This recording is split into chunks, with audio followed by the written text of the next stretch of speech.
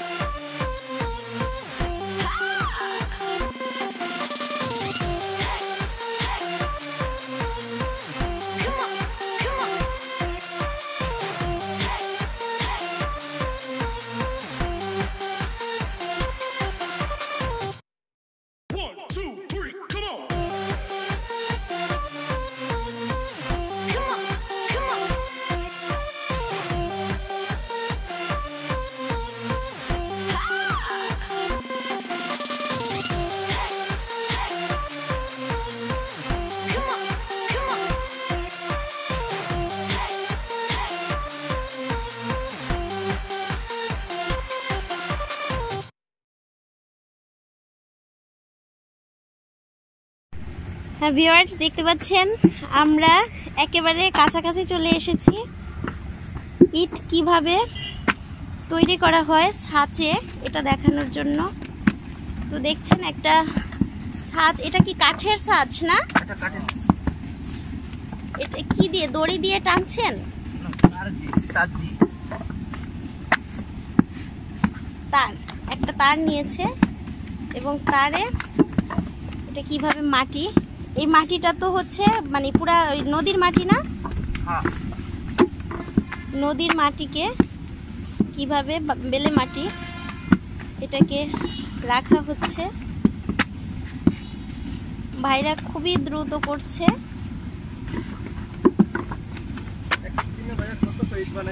এক এক দিনে কত শহীদ বানাতে পারেন? সাড়ে পাঁচ ছয় ছয় হাজার ছয়শো? ছয় হাজার। ছয় হাজার? দিনে ছয় হাজার বানাতে পারেন? হ্যাঁ। এই এই যে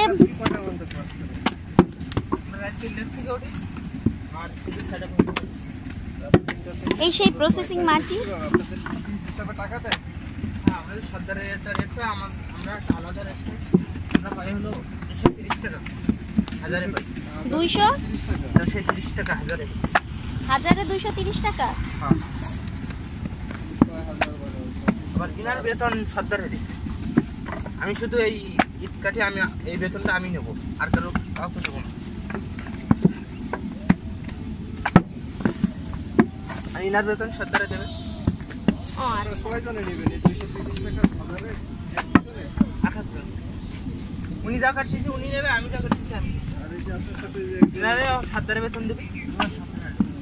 ওই সর্দারে অফিস থেকে একটা আলাদা রেট পায় এই এক হাজার টাকা রেট পাবে হাজারে।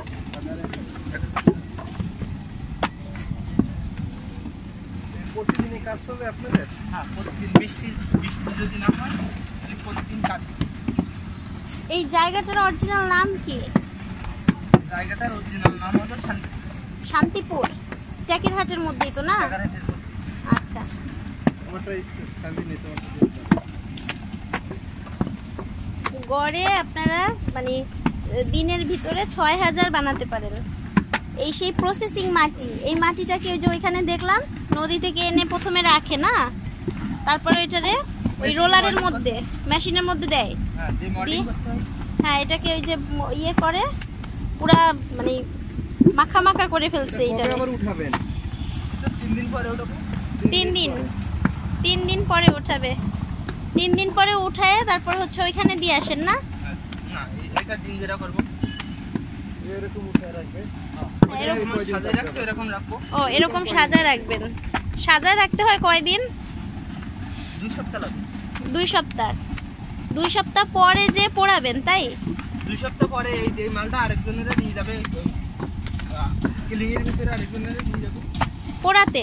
হ্যাঁ। না এইগুলো আবার কিলিং এর ভিতরে সাজাবে। সাজিয়ে পোড়ানো লাগে না মাটি? আর সাজানিয়ে পোড়ানো মিস্ত্রি আলাদা। ও পোড়ানোর মিস্ত্রি আলাদা। এটা যারা সাজাবে তারা পোড়াবে না। আলাদা মিস্ত্রি পোড়াবে। ও আচ্ছা। যারা সাজাবে তারা পোড়াবে না। এখানে এক একটা সেট ভাগ করে দেয়া আছে। অনেক বড় তো এই জন্য। না? হ্যাঁ। এটা কি ট্যাকের হাটের মধ্যে সবচেয়ে বড়? হ্যাঁ এটাকে ধরো বলছি। ট্যাকেরহাটের নাম কি রে? এখানে কি? এই জায়গাটার নাম কি? শান্তিপুর। শান্তি- শান্তিপুর ট্যাকেরহাটের মধ্যে সবচেয়ে বড়। তো এই প্রসেসিং হিসাবে প্রথমে এটা করে তিন দিন তারপরে দুই সপ্তাহ হচ্ছে এরকম সাজানো। হ্যাঁ। তারপরে যে হচ্ছে আপনার ওই পোড়াতে দিবে। ভ্যানে করে নিয়ে পোড়াতে দিবে। সাজাতে নিয়ে যাবে কিলিং এর ভিতরে সাজানো হয়ে গেলে তারপরে পোড়ানো মিস্ত্রি আলাদা। পোড়ায় কীভাবে? দেখছেন আপনারা কখনো? হ্যাঁ। ওই পোড়াবে যখন সময় কি আগুন দিয়ে পোড়ায়? ওইখানে কি আগুন দিয়ে পোড়ায় না? হ্যাঁ। এমনি কি জ্বালানি কি? কয়লা। কয়লা? দিয়ে পোড়ানো হয়। এই যে সেই ইটের ভাটা কয়লা দিয়ে হচ্ছে ইটগুলো পোড়ানো হয়। পোড়াতে সময় লাগে কয়দিন ভাই? পোড়াতে চব্বিশ ঘণ্টা সময় লাগে। চব্বিশ ঘণ্টা সময় লাগে পোড়াতে। ইটের তো এক একটা এক এক দাম তাই না? মাটি অনুযায়ী? এটা হলো এক নম্বরের হলো আট হাজার দুইশো টাকা দাম এক হাজারে।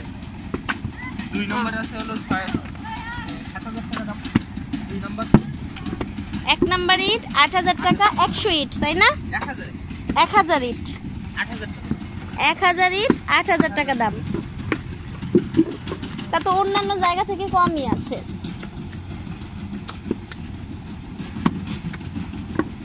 যশোরেও ইটের বেশ দাম। আমি একবার গেছিলাম ইটের ভাটায়।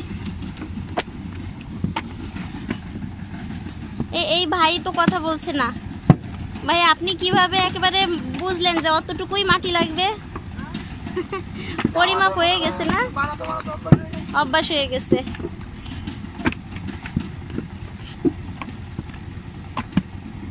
যেমন ওই যে পিঠা তৈরি করে না, একটু গুঁড়া নেয়, চালের গুঁড়া। সেরকম একটু বালু নিয়ে মাটিটারে তৈরি করতে হয়। এই আপনি কি কন্ট্যাক্ট করে নেন না? কন্ট্যাক্ট থাকে? না এই ভাই কি কন্ট্যাক্ট করে নেয় যে সিরিয়াল না? ও। মাস চুক্তি। তার মধ্যে চুক্তি করে নেয়। এত পিচ ইট দিবে তাই? ছয় মাস কাজ করবে এক লাখ পনেরো হাজার টাকা চুক্তি। ও আচ্ছা। আপনাদের বাসা কি আশেপাশেই না আমাদের ব্যবসা হলো সাতক্ষীরা জেলা আশাশুনি থানা। আশাশুনি? গ্রাম। আশাশুনি আশাশুনি থানা। বুঝছি আশাশুনি আমার এক পরিচিত ভদ্রলোক ছিল। সাতক্ষীরা জেলা। হ্যাঁ সাতক্ষীরা জেলা। আশাশুনি তো অনেক ভিতরে। আচ্ছা ভাই তাহলে আসি আপনাদের ডিস্টার্ব করলাম। আমরা এটা ইউটিউবে পাঠাই দিব যদি এখান থেকে অনেকে আসতে পারে আশেপাশে। আচ্ছা তা ভালো থাকেন সবাই হ্যাঁ? আচ্ছা আল্লাহ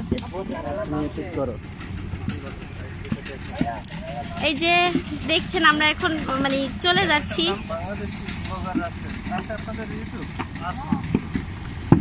আচ্ছা। এই যে রাসেল ভাই হচ্ছে আমাদের সাথে আছে আপনাদের প্রিয়। বাংলাদেশি ব্লগার রাসেল। তো এই রাসেল হচ্ছে এখানে আসতে ইউটিউবে এটা ছাড়বে এই জন্য তো ওই পাশে প্রসেসিং চলছে আর এই পাশে আমরা ইটে নিয়ে দেখাতে আসলাম যে ইট দিয়ে ছাঁচে তৈরি করছে।